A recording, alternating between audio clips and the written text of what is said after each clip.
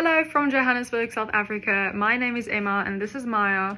I'm a musician, singer-songwriter, and I just wrote the anthem of autumn. And Maya agrees, right Maya? Do you agree?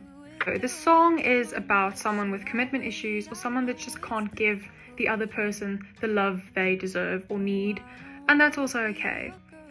So if you've ever experienced that, then sorry, but this song is for you.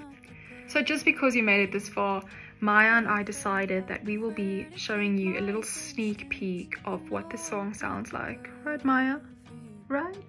Cause I won't hold you on the bad days. I won't wipe the tears off your face. I'm not the type to wanna miss you. Not in love when I kiss you.